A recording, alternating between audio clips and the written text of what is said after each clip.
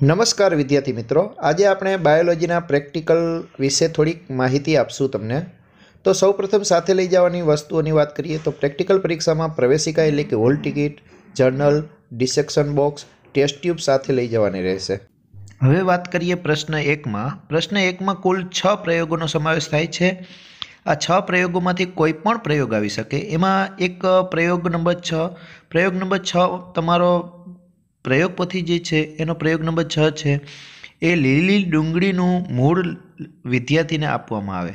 તો ડુંગળીના મૂળનો છેદ અભિરંજક એને પાંચથી દસ મિનિટ હોટ પ્લેટ પર ગરમ કરવો, ત્યારબાદ પાણીના બે ટીપા મૂકીને કવર સ્લીપ ઢાંકીને સમસૂત્રી ભાજનનું અવલોકન કરવું. પછી પ્રયોગ નંબર નવ છે, મેન્ડેલનો વિશ્લેષણનો નિયમ.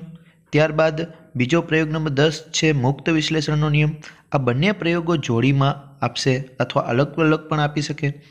ચાર અલગ અલગ કલરના મણકા તૈયાર હશે. તેને એક સંકરણ અને દ્વિસંકરણ મુજબ ગોઠવવાના છે અને ઉપરના નિયમો સમજાવવાના છે. ત્યારબાદ પ્રયોગ નંબર સોળ, ભૂમિની જલ ધારણ ક્ષમતાનો અભ્યાસ કરવો. એક નમૂનો માટીનો અને બીજો રેતાળ માટીનો આપશે. અને અવલોકન કોઠો જે છે એ સીધો લખવાનો અને પ્રયોગ પદ્ધતિ જે છે એ આમાં ધ્યાનમાં રાખવાની છે.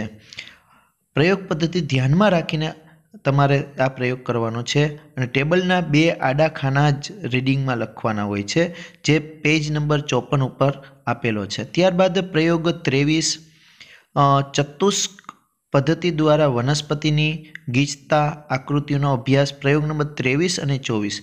એમાંથી પ્રયોગ આવી શકે તો એના માટે તમારે સીધા ટેબલ યાદ રાખીને લખવાના થશે. આમ પ્રયોગ નંબર છ, નવ, દસ, સોળ, ત્રેવીસ અને ચોવીસ. આમાંથી કોઈ પણ એક પ્રયોગ જે છે એ પ્રશ્ન એક માટે તમારે આવી શકશે. તો પ્રશ્ન એક માટે તમારે આટલું તૈયાર કરવાનું રહેશે. પ્રશ્ન નંબર બે.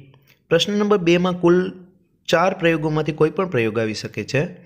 જેમાં પ્રયોગ નંબર પંદરની વાત કરીએ તો ટ્રાયેંગલની આકૃતિ આપશે અથવા માટીનો નમૂનો ટેબલ એટલે કે અવલોકન કોઠાના એક અથવા બે ખાના લખવાના થશે. ત્યારબાદ પ્રયોગ નંબર ઓગણીસની વાત કરીએ તો પલાળેલી માટી એનો નિતાર ત્યારબાદ ત્રણ ખાડાવાળું પાત્ર, નિતારના પાંચ સાત ટીપા ભરવે, ભરવામાં આવે. ત્યારબાદ ખાના એકમાં યુનિવર્સલ ઇન્ડિકેટર, ખાના બેમાં વિશાળ શ્રેણી પીએચ પેપર અને ત્રીજામાં નાની શ્રેણી પીએચ પેપર રંગોનું અવલોકન કરી કોઠામાં નોંધો કરવી. ત્યારબાદ પ્રયોગ નંબર વીસની વાત કરીએ તો વીસમાં પાર્ટ બીજો જે છે એમાં અંકિત નળાકારની મદદથી ઘૂંઘળાપણુંનું માપન ટેબલ ધ્યાનમાં લેવાનું ત્યારબાદ પ્રયોગ નંબર બાવીસ જે છે, એસપીએમનો અભ્યાસ કરવો.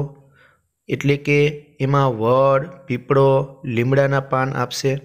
આમાંથી કોઈ પણ એક પાન આપી શકે અને એના માટેનો અવલોકન કોઠો જે છે એ યાદ રાખવો પડશે. તો આ રીતે પ્રશ્ન નંબર બે જે છે, એમાં આ ચાર પ્રયોગો જે છે, એમાંથી કોઈ પણ એક પ્રયોગ આવી શકે છે. હવે વાત કરીએ પ્રશ્ન નંબર ત્રણ. પ્રશ્ન નંબર ત્રણમાં કુલ સાત પ્રયોગોમાંથી કોઈ પણ પ્રયોગ તમને પૂછી શકે. એમાં પ્રયોગ એકની વાત કરીએ તો ધતુરો, ક્રાઇનમ, બારમાસી કે કરણનું પુષ્પ આપશે.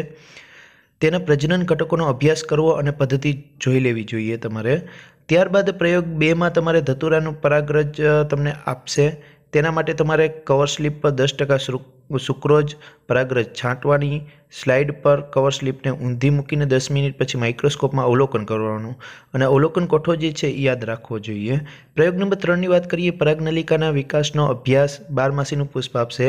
પરાગાસન પાણીમાં પાંચ દસ ઉકાળવાનો, કોટન બ્લૂથી અભિરંજિત કરવા, ત્યારબાદ સ્લાઇડ પર ગ્લિસરીનનું ટીપું, પરાગાસન સ્થાપિત કરીને કવર સ્લીપ ઢાંકીને અવલોકન કરવું. પ્રયોગ નંબર અગિયારની વાત કરીએ તો વંશાવલી નકશો તૈયાર કરવો કોઈ પણ એક ચાર્ટ આપશે, જોઈને દોરવાનો છે અને તેનું વર્ણન કરવાનું છે. પ્રયોગ નંબર બારની વાત કરીએ તો કૃત્રિમ સંકરણ માત્ર પદ્ધતિનું વર્ણક પેપરમાં લખી નાખવું.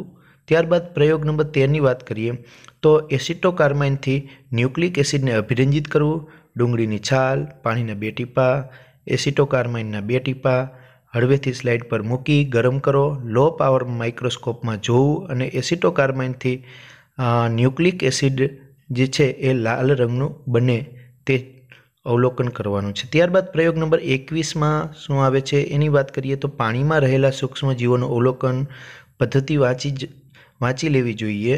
ત્યારબાદ કોઈપણ પાંચ સજીવના નામ જે છે એ પેપરમાં લખી નાખવાના છે. પ્રાયોગિકમાં છે તેમાંથી પાંચ યાદ રાખવાના રહેશે. આમ કુલ આટલા પ્રયોગમાંથી કોઈ પણ એક પ્રયોગ જે છે એ પ્રશ્ન ત્રણમાં આવશે. હવે વાત કરીએ પ્રશ્ન નંબર ચાર.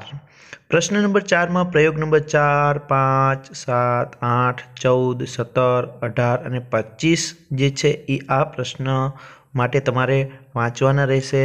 પ્રાયોગિક બુકમાં આપેલી આકૃતિ કે ચાર્ટ સામે નમૂનાના નંબર સાથે મૂકેલ હશે અને પેપરમાં આઠ નમૂનાનું વર્ણન, આકૃતિ અને ચાર્ટ બધું લખવાનું રહેશે.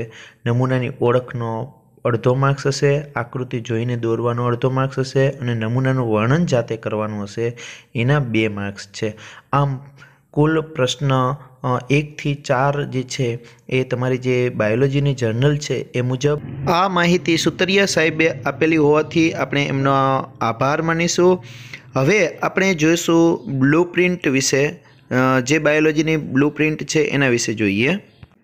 તો અહીં તમે જોઈ શકો છો પ્રશ્ન એક, બે, ત્રણ, ચાર અને પાંચ, આ પાંચ પ્રશ્નો જે છે, એમાં પ્રશ્ન એક જે છે એ આઠ માર્ક્સનો છે.